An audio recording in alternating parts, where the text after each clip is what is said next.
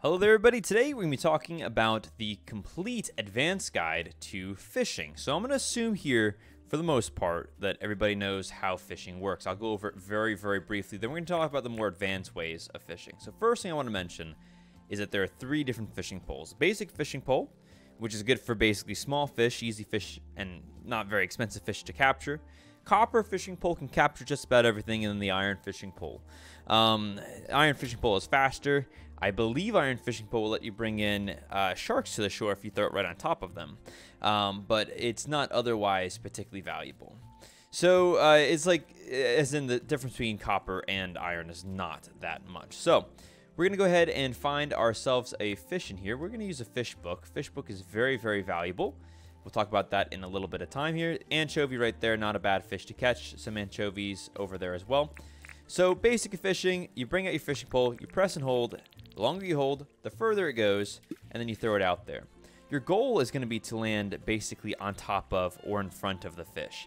Sometimes landing right behind the fish will also work. You can kind of think about fishing uh, and the fish imagine they have like a, a sight radius, right? And they can see all the way around them in 360 degrees, but they see better in front of them than behind them or to their sides. So you really want to try to get it in front of them or directly on top of them um, in order for the most accurate and, and quick chance of catching them. Then you basically just only press the left mouse button when they're not actively swimming away if you are pressing it while they are actively swimming away, your stamina on your on your bar on your fishing pole will go down, and uh, it'll get closer to breaking free. So we're gonna use a fish book again. I'm gonna talk about that in a second. There's like three of them just sitting out here in the middle. Oops, don't want to get that far out.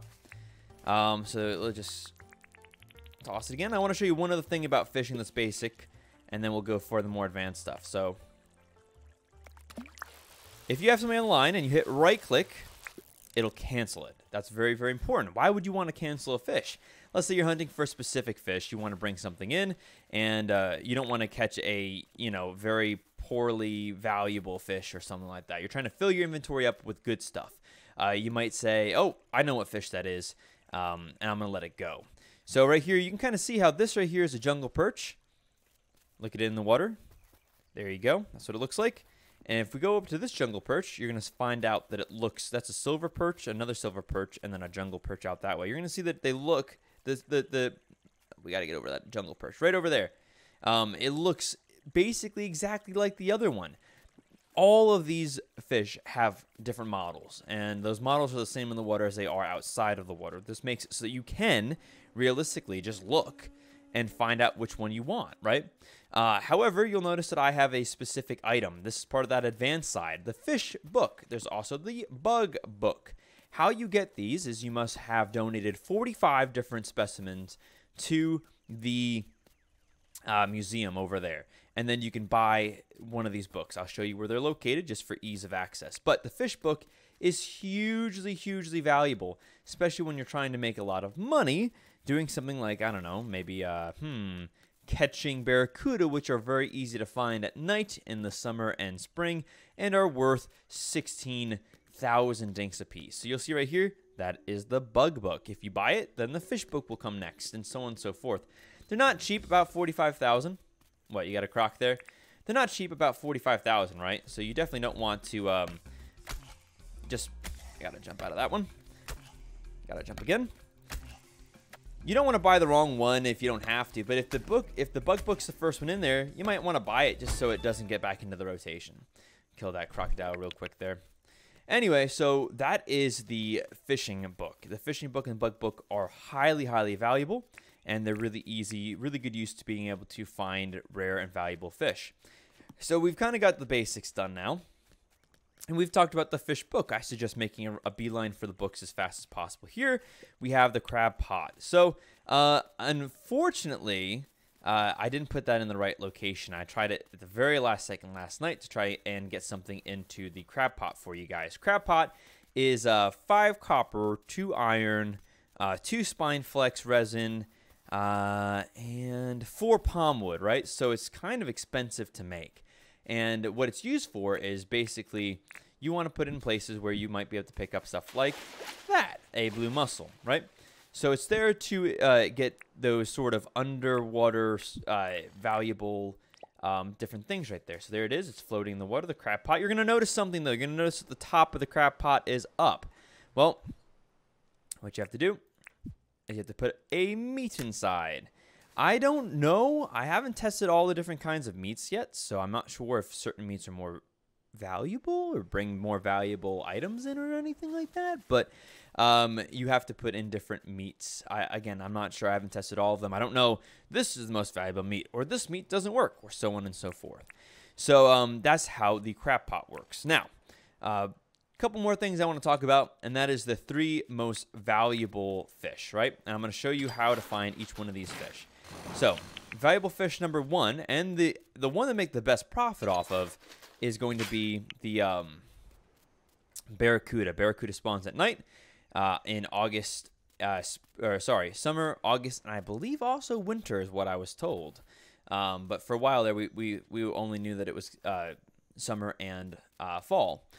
Uh, autumn, that is to say. And then the other ones, the other really valuable fish are marlin. And again, I'm going to show you clips on where to find these guys, what they look like in the water. And then finally, the most valuable fish in the game is the tuna, redfin tuna. And I'm going to show you a clip on that. So hang tight. We'll watch those clips together, and uh, that'll be all you need to know about fishing.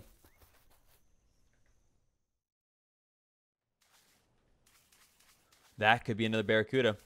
Let's see. Can we make another six? 16, that is to say. 16,000. Barracuda. Is this the Barracuda land? It looks like one, guys. I give you 32,000 in two catches. This is how to make early game money. We'll have the new shop paid off in another catch of a Barracuda. Like, listen, he makes me work for it. He runs. Definitely that fish runs, but... My guess is that's like the challenge meter, right? as how frequently or how far away they run. But it doesn't seem like there's there's not too much of a challenge, you know? There's not it's not particularly hard. It's not massively relaxing or rewarding, but there it is, another barracuda, guys. 36,000. That's not a barracuda. That might be another one. Is it this is it really this easy? Is it really this easy to farm? No other fish you stay away.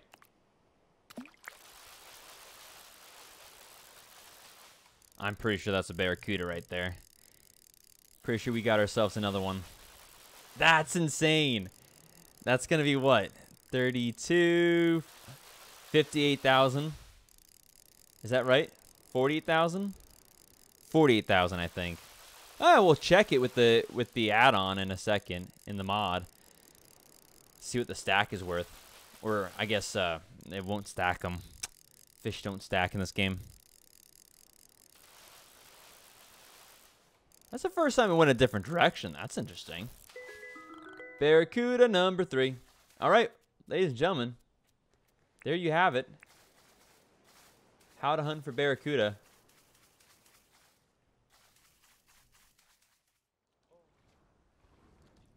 Those look like flathead, whatever you calls them. Oh! there it is. There's a marlin. Here we are, way down in the Southern Ocean. I'm going to try not to scare it too much, so we're going to stop right here.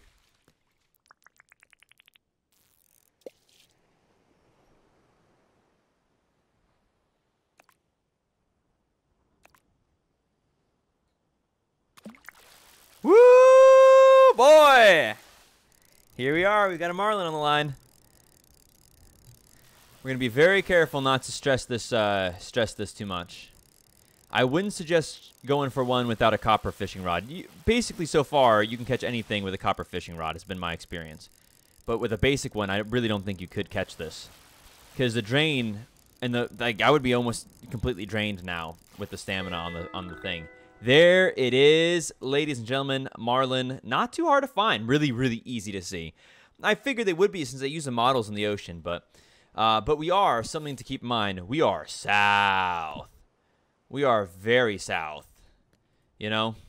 But we were able to see it from a decent amount of decent distance away. But we're almost as south as south goes in this ocean right now. You kind of see, and he actually spawned in, in what I would consider a not particularly deep zone of the southern area.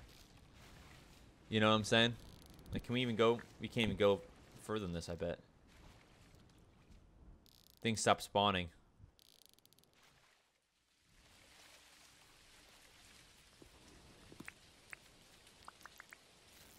What do we got here? This thing is big. Tuna? I think this is tuna. Nighttime, northern beach, off the coast. About 7 o'clock here. We found ourselves tuna. I think that's what this is. Ooh, it's even giving me a run for my money with this pole. The iron fishing pole. Yellowfin tuna. That is the most expensive fish uh, and maybe the most massive fish in the game. So, excellently done, guys. Really nice to have this uh, this fish book now. So, barracuda we got out here. Looks like he's heading to the right. We're to keep fishing. I do appear to have missed him entirely. Did not wind up enough, I think, or he turned.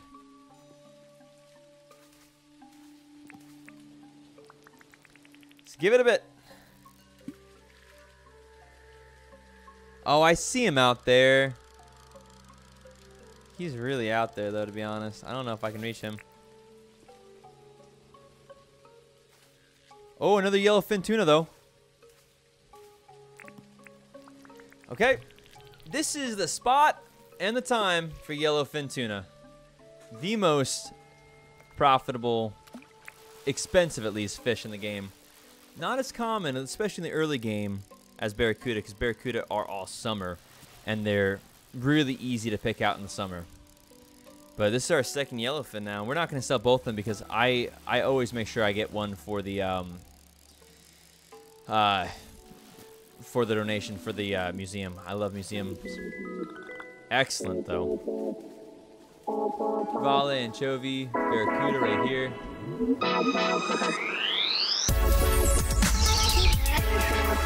Hurt them.